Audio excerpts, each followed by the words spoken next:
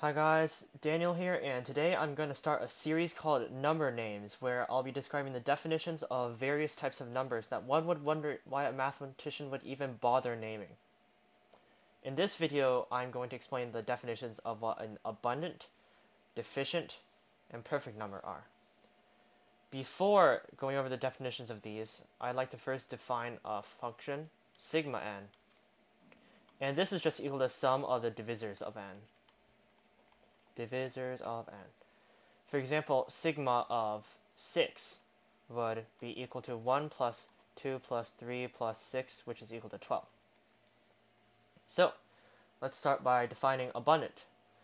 An abundant number is when sigma of n minus 2n is greater than 0, or in other words, the sum of the divisors of n is greater than twice the number itself. An example of this number would be 12, because sigma of 12 is minus 24 is equal to 1 plus 2 plus 3 plus 4 plus 6 plus 12 minus 24, which is equal to 4, and that's greater than 0.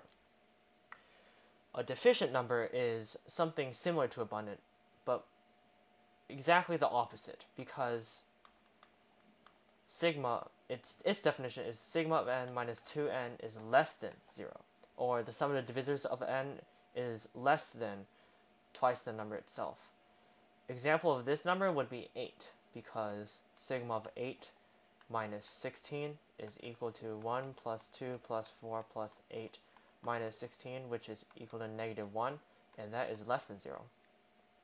Finally, you can probably guess what the definition of a perfect number is, because the definition is the sigma n minus 2n not greater than, not less than, but exactly equal to 0. In other words, the sum of the divisors of n is exactly equal to twice the number itself. And an example of this, we've already gone before, is 6. Because sigma of 6 minus 12 is equal to 1 plus 2 plus 3 plus 6 minus 12, which is equal to 0, and that is equal to 0. And there you have it, the definitions of abundant, deficient, and perfect. Hi guys, it's Daniel here, and today we are going to do part 2 of the Euler theorem videos.